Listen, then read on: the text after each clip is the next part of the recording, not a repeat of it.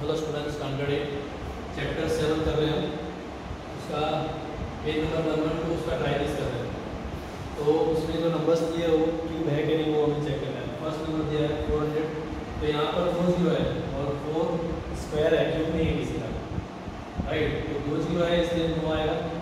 Three three seven five इसलिए cube of fifteen right में one to twenty के cube लिखे तो ये फिफ्टीन का क्यूब है। एट थाउज़ेंड तो एट थाउज़ेंड में क्या होगा? थ्री ज़ीरो है और टू का क्यूब क्या होगा? एट राइट तो this is cube of twenty yes है।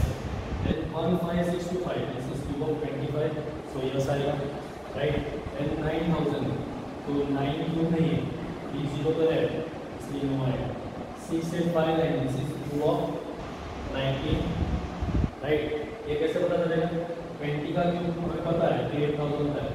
एट थाउज़ेंड के ऊपर, इसमें लास्ट में आएगा नाइन्टी के रूप में तो यस आएगा ट्वेंटी ट्वेंटी फाइव तो फोर्टी फाइव का नहीं क्यों नहीं है नो आएगा यहाँ one zero six four eight तो यहाँ पर लास्ट में एट है तो लास्ट में क्या आना चाहिए आना चाहिए तो ट्वेंटी का क्यूब करते हैं एट थाउज़ेंड आएगा थर्टी का करेंगे तो ट्वेंटी सेवन थाउज़ेंड आएगा राइट तो ये दोनों के बीच का नंबर है। तो किसके नज़दीक में?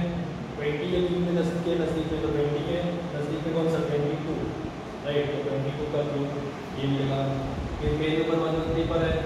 Think discuss and write right तो ट्वेंटी सेवन थाउज़ेंड यहाँ पर भी दो ज़ीरो है, दो ज़ीरो है, इसलिए दो लिख देना है। भले ट्वेंटी सेवन है क्यूब राइट दो ज़ीरो है, इसलिए हमें क्या लिखना है? इज़ नॉट क्यूब फिर यहाँ भी तीन ज़ीरो है, लेकिन sixteen is not cube it is square तो नो आएगा। देन सिक्सटी फोर थाउज़ेंड तो तीन ज़ीरो है और सिक्सटी फोर भी फोर का क्यूब है तो फोर्टी क्यूब यस है नाइन हंड्रेड तो दो ज़ीरो है और नाइन्टी क्यूब भी दोनों आएगा राइट नाइन थाउज़ेंड का तो भी वो भी आएगा राइट तीन ज़ीरो होते हैं यहाँ तो भी no one two five cube है और थ्री ज़ीरो है फिफ्टी क्यूब यस आएगा देन थर्टी सिक्स थाउज़ेंड तो तीन ज़ीरो है लेकिन थर्टी सिक्स स्क्वायर है, फिर नहीं so it and two one six double zero triple zero होने चाहिए।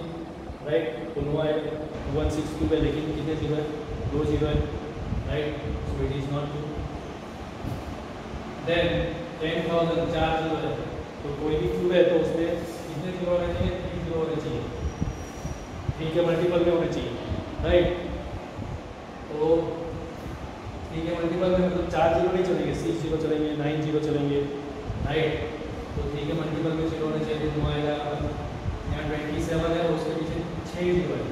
तो ये तीन ज़ीरो है उसके, एक ज़ीरो, और दूसरे जो जो तीन ज़ीरो है उसके सेकंड ज़ीरो तो थ्री हंड्रेड का three right this is cube three hundred तो थाउज़ेंड थाउज़ेंड में थाउज़ेंड इज़ ऑफ़ टेन तो तीन ज़ीरो का है क्यू और वन का वन तो ten into ten into ten one का क्यू वन और एक ज़ीरो का तीन zero so it is cube okay right